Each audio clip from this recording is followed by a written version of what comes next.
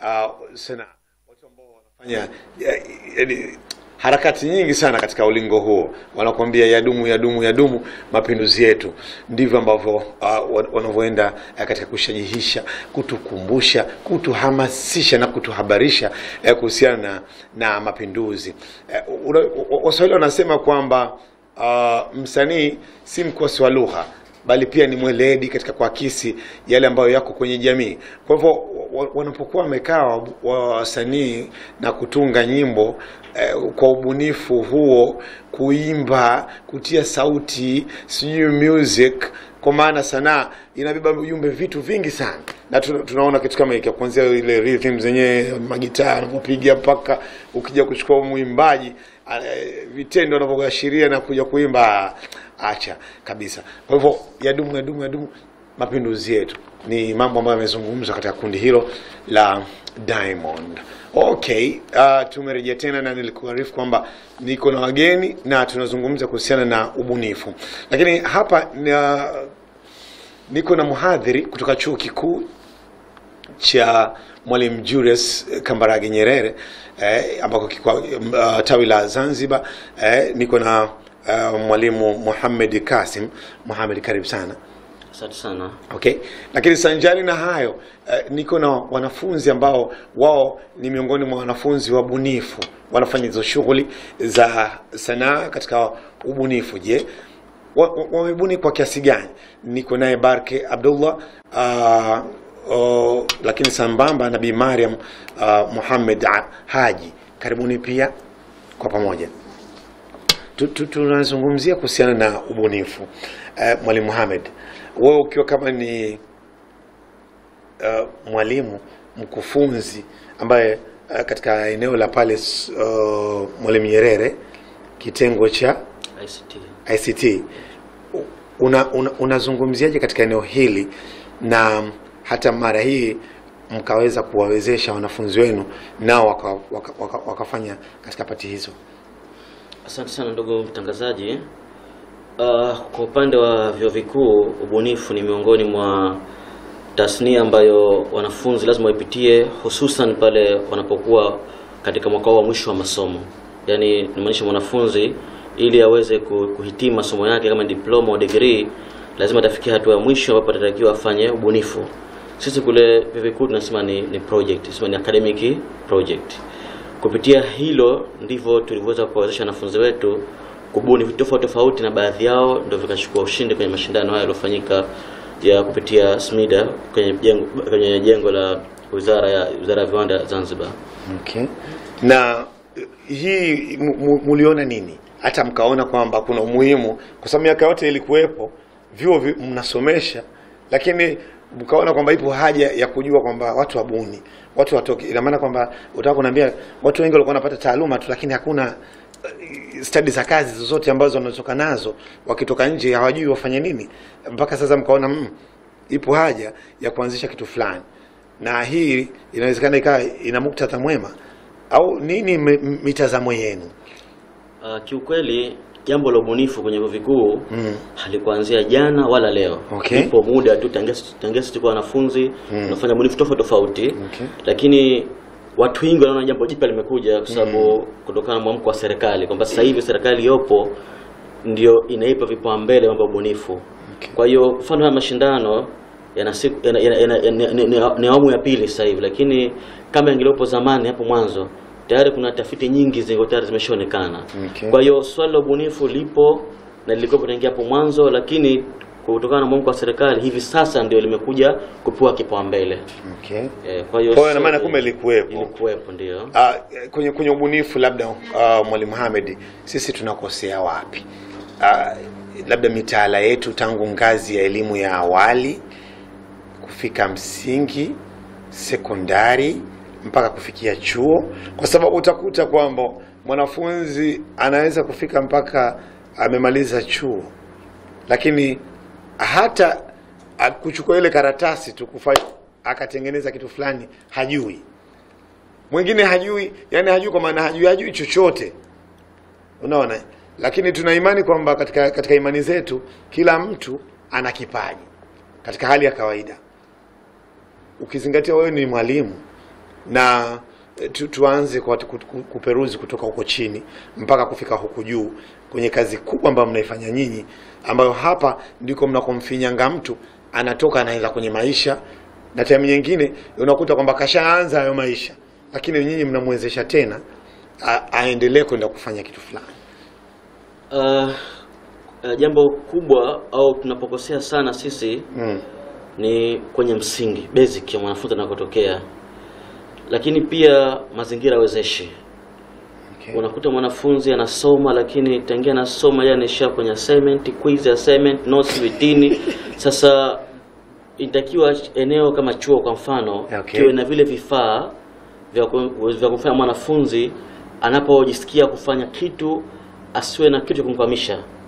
Sasa unakuta vyuo vingi unakuta bado uwekezaji kwenye vifaa vya kumfanya mwanafunzi aweze kuwa mbunifu upo chini sana, na ndicho ambacho ki- kilikuwa uh, kilichotufanya Mwalimu Nyerere tuwe tufanikiwe zaidi ni kwamba tumewekeza kwenye vifaa.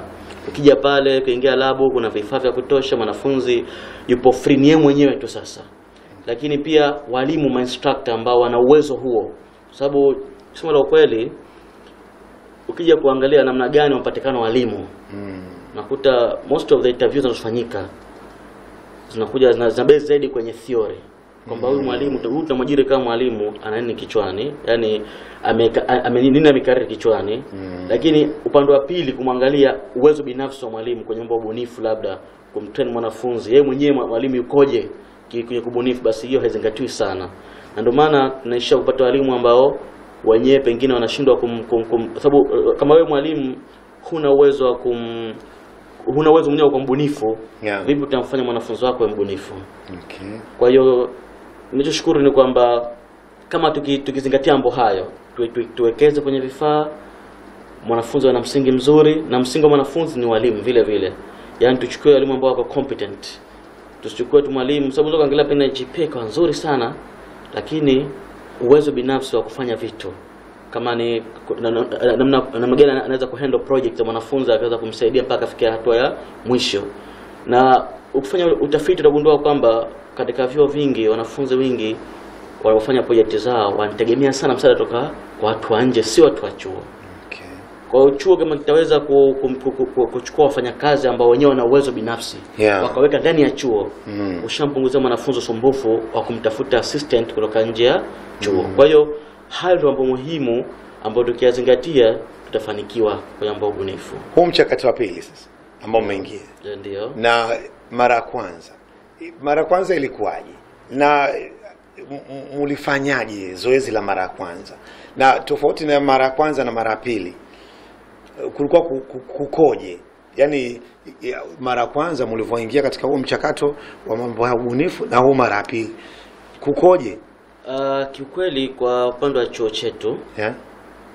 mashindano haya mara ya pili ndio tulioshiriki kwa mara ya kwanza kwa sisi. Kwa hiyo mara ya mwanzo alikuwa ndio ya mwanzo kabisa, hata zile announcement hazikuwa wazi mm. ingawa walioshiriki pia walipitia kwenye mikono yetu vile vile Eh? walikwenda wao kama wao individual, lakini walipitia kwenye mikono yetu Na walishinda. na walishinda. Lakini kwa mara hii sasa ndio kuna haja ya chuo kama chuo kuchukua tangazo na kuwapelekea wanafunzi kuwahamasisha, ombeni mwingie kwenye mashindano.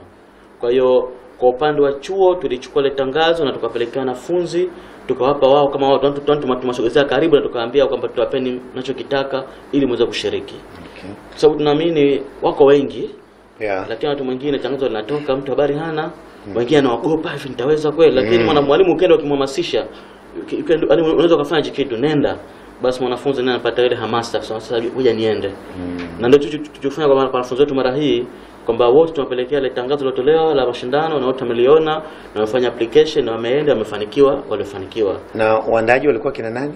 Uh, mashindano hayo yaliandaliwa kupitia ni hii taasisi inajulikana kama SMIDA Smida. E, kupitia wizara wizara ya biashara na viwanda. Okay.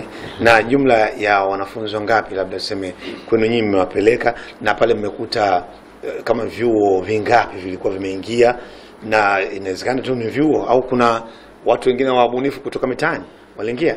Ndio, swali zuri sana muuliza. Kwa upande wetu kama Mwalimu Nyerere tulipeleka wanafunzi wawili, washiriki wawili, lakini pia mimi nilikuwa ni miongoni mwa tuliohudhuria katika yale mashindano. Kulikuwa na wanafunzi kutoka vyuo vingine kama vile Suza, Tunguu na pia kulikuwa na washiriki kutoka katika jamii.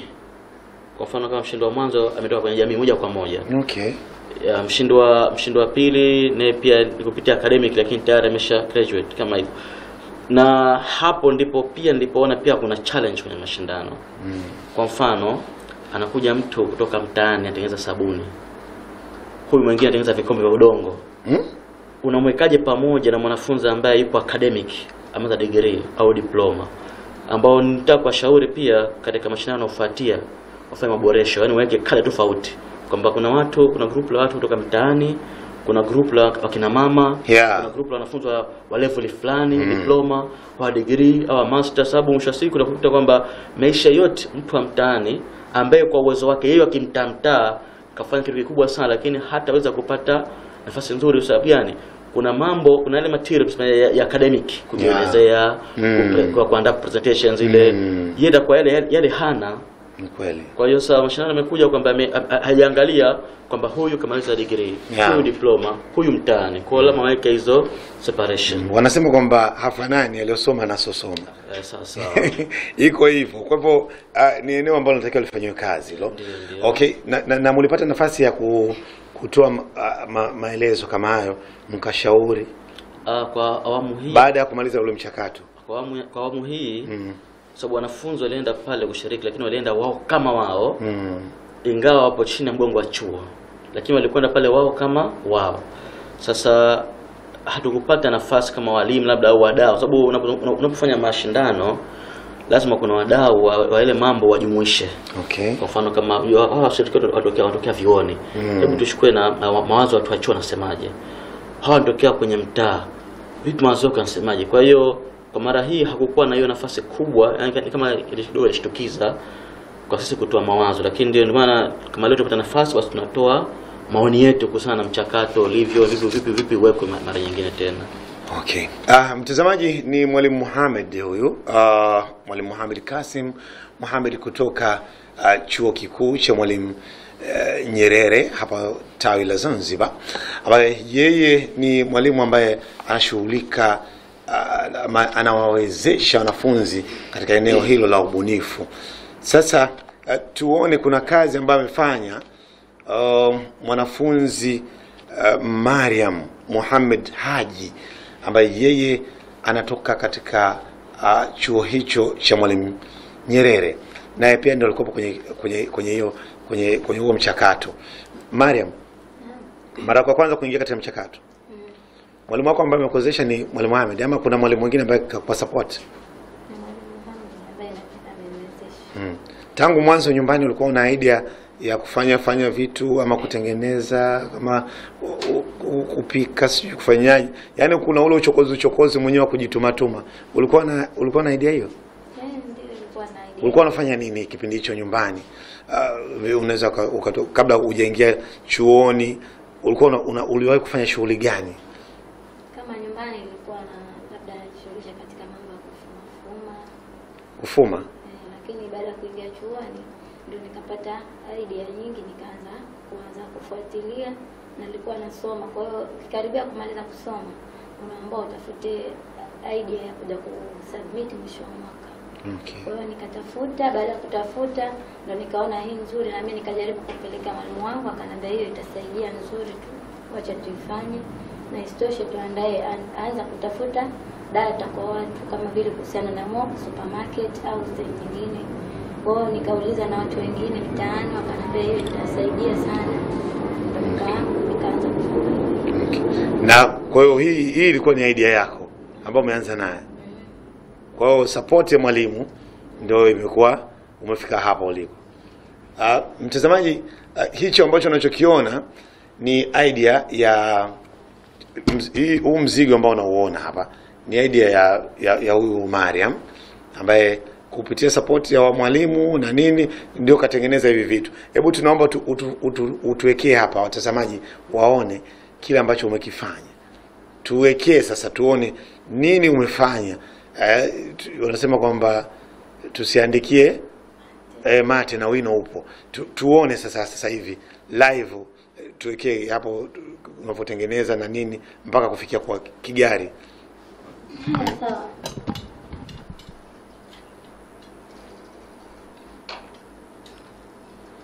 Hichi ni kigari ambacho nimenunua kutokana na uwezo lakini kigari chenyewe sikuweza kuwa nacho, ambacho hichi kinatokana na kile kibebeo cha mtoto, kina kitambaa chake nikakikata mimi, tukaweza kutumia hichi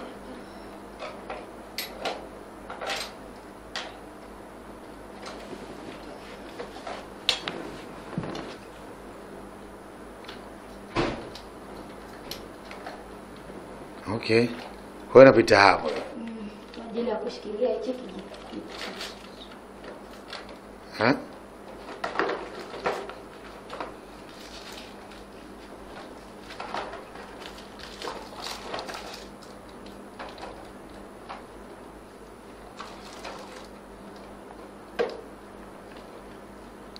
Tumsaidie.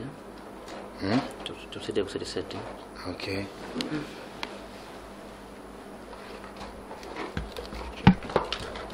Kuset cha supermarket.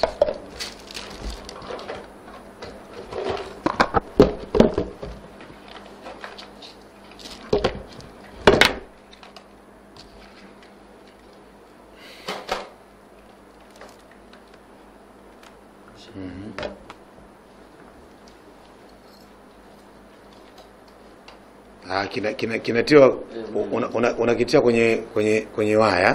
Mm -hmm. ah, alafu una okay. Kinakwenda hivyo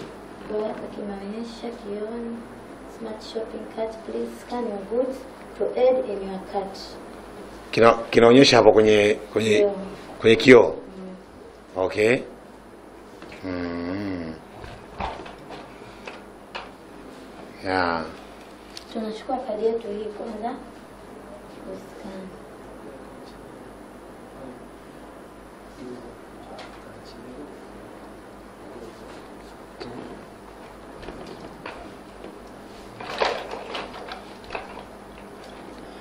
Ehe. Alafu tunaanza kuchukua bidhaa yetu moja moja ambayo hii imetiwa stika hii hapa mm. kwa ajili ya kusoma hapa katika RFID. Akashi. Ehe. Hapa tuna tuna register bidhaa hii. Mhm. Tunachukua bidhaa ya pili, Mhm. remove. Tunachukua na nyingine. Kwa hii hii system ya juu yote umetengeneza mwenyewe. Eh, kwamba kuwa inasoma eh, kwamba kwa bidhaa kwa mujibu wa na bei, si ndio? Eh, Kwa hiyo ukiweka hapo Blue Band, kwanza mara ya kwanza atachukua yule keshi wa kule dukani. okay. Ataanza kuskani hii kadi yake kwa ajili ya mm. kuvisajili bidhaa zake zote zilikuwa supermarket. Mm. Alafu ata- ata- ata atakuja mteja kwa ajili ya kununua hizi bidhaa. mm. Yeye atakaposkani hapa itaonyesha jina la kitu pamoja na bei yake. Okay. Kila atakapoendelea kuskani nyingine itaendelea kujumlisha ile bidhaa yake hadi mwisho wa manunuzi yake. Okay. Na atakapomalizia atakwenda kwa kwa kwa mwenye kesha. Baadaye kesha atatizama tu katika kioo chake mtumiaji huyu ameweza kutumia shilingi ngapi na bidhaa gani gani amechukua. Okay. Mwisho baada ya kumaliza yule mteja yule ata ata recite hapa kwa ajili ya kufuta vile bidhaa zote alizozunua mteja wa mwanzo. Na kila kitoroli katika supermarket kitakuwa kina namba yake na ufunguo wake kwa ajili ya kumfungulia na tu bidhaa zake mbili. Hatari, makofi tafadhali. Ah, huo ndio ubunifu mtazamaji, na ndio kazi ambayo imefanywa na Maria Muhammad uh, Haji mm, katika huo mchakato eh, alioingia wanafunzi mbalimbali, wengine walikopo watu kutoka mitaani eh, mambo yalikuwa kadha kadha. Uh, ndugu zetu wa SMIDA ambao ndio walikuwa wanashughulika na masuala haya, na yeye katengeneza hicho kigari cha supermarket bidhaa ukiziweka pale kama nini inasoma eh, hiyo system na nini mambo yanakuwa kama hivyo. Yani ile sayansi na teknolojia ubunifu mm, ame, ame, ndo amefanya kitu kama hiki hapo. Unaweka dini yako hapo kwenye kwenye charge system mambo yote yanakuwa mubashara. Asante. Uh, naomba hivi vitu tuvitie mule tena. Uh, tumemaliza zoezi hilo mm, la la nini. Na, na kama una, mtu ana- ana- ana eh, haya mambo tuseme kama watu wanahitaji hivi hizi kazi tunaweza tukakisukuma tukupembeni huko eh? kama mtu ana- ana- anahitaji hizi kazi anahitaji hizi kazi na maana kwamba au hicho kigari kama design kama um, mnaweza mkamtengenezea ama mnafanya vipi? Kwa sababu inawezekana kuna watu tayari wameshaona huko. Akahitaji hicho kigari. Sawa. Ndio kama biashara hiyo. Sawa. Mna- mnafanyaje mnaweza mkamtengenezea. Ah, na yeye yuko tayari keshimani eh? mwalimu unazungumza hapo Eh, ndio naweza kujibu kidogo. Mm. watu wengi kidogo wamekuwa wana uelewa tofauti. Kwa upande wa ngazi za academic vyuo nasema hizi ni tafiti research. Okay. eh, nobo- anza kaja mtu akataka demand akataka cheki gari. Eh? Tutamtengenezea ni sawa uh, lakini gharama itakuwa ni kubwa zaidi gharama Ehe.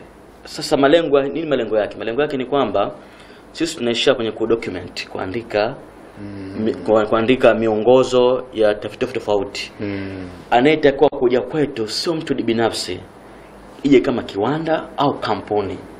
Sisi ni kiwanda, tunatengeneza vifaa vya electronics, tunauzia idea. Sasa wao wanainua ile idea yote wanakwenda kufanya regeneration, yani wana- wana- wana- wana- wana- kwa wingi kwa wingi kwa wingi, na ndivyo bei itaweza kushuka. Ndio lengo kubwa sasa la ubunifu hizi za, za tafiti za, za vyuo vikuu kwamba tunaishia kuwa na wazo sisi tunauza wazo kwenye kampuni fulani kwa aidha kwa kutumia pale ni shareholder tunafanya whatever lakini ndio kuwa ni wazo tunawauzia kama wazo. Ingawa kwa mtu mmoja mmoja anaweza akaja pia akatengenezewa akawa nacho kwenye supermarket yake Okay, asante. Ah, hayo yalikuwa ni ya Mwalimu Nyerere, Mwalimu Nyerere ambapo uh, Mwalimu Ahmed pamoja na Mariam uh, kijana ambaye amefanya hiyo kazi kushirikiana na mwalimu wake eh, kama ambavyo tunaambia hizo kazi zinafanywa kwa ajili ya utafiti eh, mambo ya vyuo vikuu eh, sio tena sasa hivi watu wanaenda kule wanasinzia, mwisho wa siku wanakopa wanaibuka wakirudi mitaani hamna kitu. Hapana. Sasa tunaye mwanafunzi Barke Abdullah yeye anatokea uh, Suza, chuo kikuu cha Suza. Mm? Barke Abdullah anatokea chuo kikuu cha Suza. Barke, naomba utoe historia yako kwa ufupi, wapate kukuelewa wewe Barke ni nani na unafanya uh, sasa hivi uko Suza uh, unafanya nini? Okay. Mimi naitwa kwa jina Barke Abdul Mahfuz. Okay. Ni graduate wa mwaka huu Suza. Ha, unamaliza mara hii Nimemaliza. Umemaliza? Na usha graduate Eh. Ha, nijua bado ndo unamaliza ili kwenye graduation na mimi nije, yaani wakati pale unapewa unapewa ile inapigwa tu na mimi nakuja kuleta maua mbele, sio eh, ndio raha kweli kumpelekea mtu maua ana graduate eh? Okay, eh eh. Nimegraduate katika Bachelor Ah. Information Technology Application and Management. ndio ulikuwa unachukua, ndio faculty ulikuwa unachukua Eh, ndio faculty nilichukua. ah, Eh. Na hii idea ilikuwa ni idea yangu ya kumalizia chuo, kama alivyosema kwa Mwalimu Nyerere, mwanafunzi akitaka kumalizia chuo lazima apeleke project, na sisi SUZA tuko hivyo. Hivyo lazima tupeleke, tupeleke project. Kwa hiyo mimi na mwenzangu tukakaa tukawaza na tukasema tunataka sisi project yetu au kama research yetu iweze kutatua matatizo ya jamii. Na tulivyoangalia tukaona katika kuomba mchanga kuna tatizo kubwa, kwa sababu process iliyokuwepo sasa hivi katika kuomba mchanga, mwananchi anatakiwa aende hapo zamani ili yani yani ulifanya research yani yani, niliangalia hivi. wewe mwenyewe binafsi au ulishirikiana na wenzio?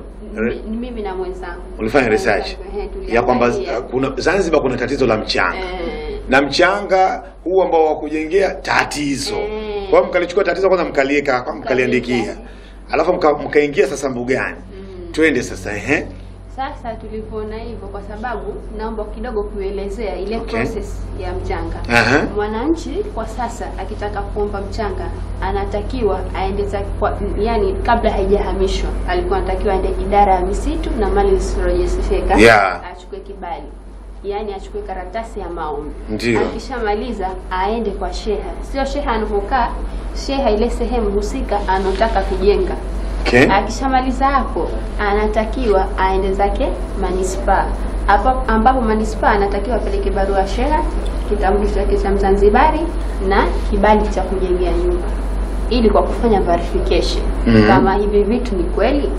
Alafu akishamaliza arudi idarani idarani tena impe process nyingine, alafu apewe, apewe akalipe benki, arudi tena, alafu ndo apatiwe kibali cha kwenda kuchukua mchanga. Kwa hiyo kama tulivyoelezea, yani wewe mwenyewe moja kwa moja unaona kama hii ni process kubwa Okay. yani ili kupata kile kibali unachukua muda, na hata hivyo pia usumbufu kwenda huku kwenda kule. Kwa hiyo sisi tukaja tukasema, kwa nini hii process tusifanye computerized tukarahisishia watu. Kwa hiyo tukaja na idea yetu, tukasema sisi system yetu utakuwa unaomba online, unaweza ukaomba kwa kutumia simu yako au laptop, ambayo kitu cha kwanza, kwa sababu hata ukifanya computerized, lakini kuna vitu vingine haviwezi kufanyika, lazima vitabaki manual. Kwa hiyo kitu cha kwanza tukasema, kabla hapo unatakiwa uende ukapate kibali cha sheha, yani ku- kuthibitisha kama kweli wewe unajenga pale. Ukishamaliza utakuwa na kibali chako cha nyumba, unakuwa una, una vile vitu vyako unavisubmit sasa hauna haja ya kupeleka kule. Kwa hiyo ukisha submit moja kwa moja vitaenda halmashauri, haina haja mwenye kwenda halmashauri. Halmashauri wata, wata verification. Katika siku zote ku verification kuna vitu kwa kukataliwa na kukubaliwa. Mm. Kikikubaliwa kinaenda moja kwa moja idara ya misitu ilikuwa hapo zamani, alafu kikikataliwa unatumiwa wewe mwenyewe message, unaambiwa kama pengine barua shehe umeleta sio, au kibali cha mchanga kime, expire au yani chochote vile wa, sababu vile kufanya walilofanya halmashauri waikatae, utapata message, alafu baadaye utakontakti na halmashauri, utarudisha tena, baadaye itaenda moja kwa moja. Ikikubaliwa itaenda moja kwa moja, wewe utakuwa uko background, yaani wewe process yoyote iliyofanyika utatumiwa message tu. Kama sasa hivi kibali chako kimetoka halmashauri kinaenda idara ya misitu, ikishafika idara ya misitu wale watakalkulate zile ni- system wenyewe itakalkulate ile pesa na kutokana na mchanga ulichoomba, alafu utatumiwa message. Hiyo message itatumiwa, utatumiwa control number na pesa ambayo utaenda kulipa benki.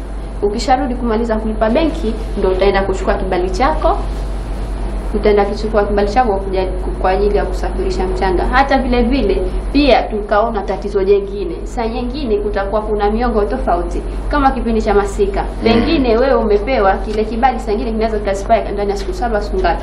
Kwa hiyo wewe pengine umetoka huko na gari yako ukataka kwenda Fujoni au Pangatubu kwenda kuchukua mchanga, lakini kumbe kule kutokana na mvua wameshinda, inabidi wewe ushaharibu mafuta nini sasa ku overcome hili tatizo, basi system yenyewe moja kwa moja ikio ikitokezea dharura yoyote, utatumiwa message, utaambiwa kwa sasa hivi umesitishwa, hamna kwenda kuchukua mchanga mpaka utapopewa taarifa maalum, na pia ikiwa tayari utatumiwa message.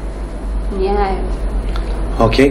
Uh, mtazamaji basi uh, utaona uh, hiyo video ambayo uh, imetengenezwa na kijana wetu Barke Abdullah eh, kuhusiana na harakati za ku, kuomba si ndio? Unaomba kuchimba mchanga mm. au unaomba mchanga? Unaomba mchanga. Unaomba mchanga ya kwa sababu tumezoea tunaomba mchanga, tunahangaika, si uende wapi, si uende wapi. Eh, hapana. Lakini sasa system tuna, umekuja kisasa zaidi, so ile unamaliza kwa daladala, si umeshuka hapa, au hata mwingine unakuta ndio hivyo, unamaliza mafuta kwa gari yako binafsi kwa ajili ya kwenda sehemu fulani, lakini sasa unatumia kielektroniki, si ndio? Kwa ulipo unafanya shughuli zako kwa ajili ya kufanya uh, ma, ama kupeleka maombi uh, taasisi husika ambazo zinahusika na mpango mzima wa wa, wa hayo okay. Uh, Mtazamaji, pia kuna tutakuwa tuna, tuna, tuna live eh, kuhusiana na mapokezi ya UVCCM eh, katika eh, kuadhimisha miaka 57 ya mapinduzi ya Zanzibar. Kwa hivyo uh, ikifika saa tatu kamili eh, tutaona hapa kupitia ZCTV uh, tutakuwa tuna live ya miaka 57. Kwa hiyo uh, UVCCM ndio ambao uh, watakuwa wana- wana- wanahusika uh, katika mpango huo. Okay, tu- tu- tunamalizia maongezi yetu. Oh, katika hili Barke, wewe umetokea wangapi kwenye mchakato? Ilitokea mshindi wa kwanza, Mshindi wa kwanza, na zawadi pale ilikuwa ni nini? ilikuwa unapewa cheti kama uthibitisha ushindi wako, halafu napata laki saba. Laki saba. mm. Kwa laki saba unazo mm. au? Okay. Na Mariam, wewe Na mimi nimepoa cheti Eh. pamoja na pesa taslim laki nne Na wewe? ushindi wa tatu. mshindi wa tatu. Okay, kwa hiyo hivyo, kwa hiyo ongereni sana jamani, ongereni sana. Huu ndio ubunifu, na mmeweza kuona ama mmetoa mmetoa faida pia kwa wengine ambao uh, wa- wafanye nini ili na wao wawe wabunifu. Cha mwisho, labda mna, kipi cha kutaka kuambia um, wafanye tuseme wananchi, wanafunzi wenzenu ambao tayari mwingine wako wako huko mashuleni, vyuoni, si ndio? Kipi cha mnawashauri nini? Tunaanza na Barke.